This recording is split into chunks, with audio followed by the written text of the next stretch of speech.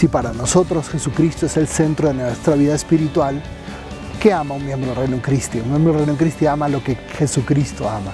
Y es por eso que a partir del número 14 se explican los amores del miembro del movimiento. Está principalmente el amor a María, la Madre de Cristo y Madre nuestra, el amor a la Iglesia, al Papa, a sus necesidades y por eso buscamos servir a la Iglesia y ponernos a su disposición como apóstoles, como líderes católicos. Está el amor a todos los hombres. Jesucristo sale del cielo y viene a la tierra con ese espíritu misionero de poder salvar a todas las almas a través de su muerte en la cruz.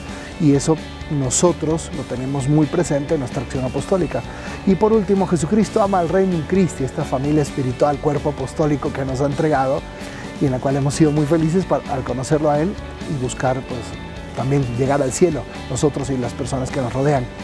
Estos amores deben estar presentes en el centro de nuestras comunidades, de nuestras secciones, de nuestros centros educativos, pues forman parte de la mística del Reino Cristo.